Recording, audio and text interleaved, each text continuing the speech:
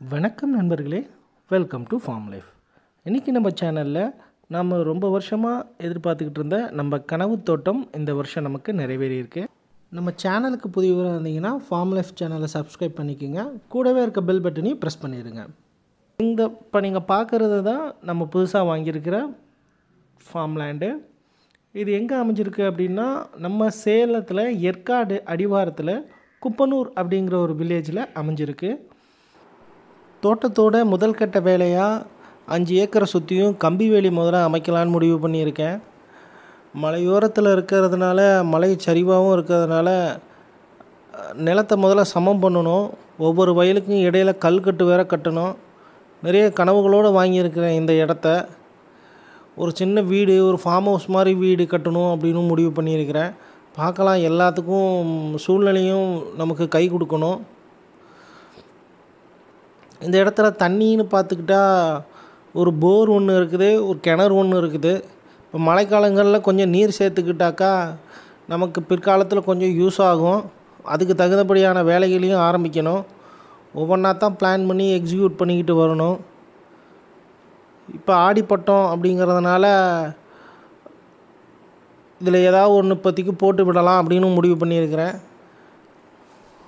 பக்கத்தில் எல்லோரும் மாட்டு தீவனத்துக்கான சோளம் போட்டு விடுங்க கடலை போட்டு விடுங்க அப்படின்றாங்க. என்ன என்ன போடுறதுன்னு தெரியல. ஆனால் முதல்ல நிலத்தை ஓட்டி விடலான்னு நினச்சிருக்கிறேன். ஒரே புல்லாக இருக்குது. இன்னும் புல் கோ கிழங்கு வச்சிடுச்சு அப்படின்னாக்கா அப்புறம் எத்தனை தடவை ஓட்டினாலும் புல்லை அழிக்கவே முடியாது. அதனால் முதல் கட்டமாக இப்போ முதல்ல நிலத்தை ஓட்டி விடலான்னு முடிவு பண்ணியிருக்கிறேன்.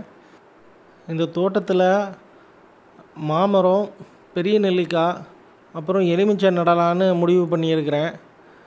இதெல்லாம் கொஞ்சம் வறட்சி தாங்கி வளரக்கூடிய பயிர்கள் அதனால் அந்த மாதிரியான வே- வகையை கொஞ்சம் வைக்கலாம் அப்படின்னு முடிவு பண்ணியிருக்கிறேன்.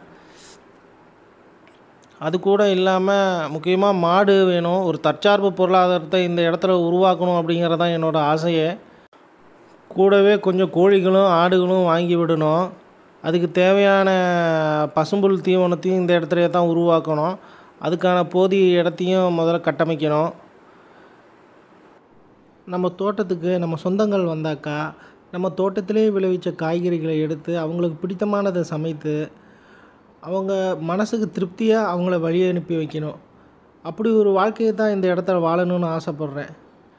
இப்படி ஒரு இயற்கையாக மழைகள் சூழ இருக்கிற ஒரு தோட்டத்தை எனக்கு அமைச்சு கொடுத்து இருக்கிற ஆண்டவனுக்கு என்னோடய முதல் நன்றிகளை தெரிவிக்கணும்.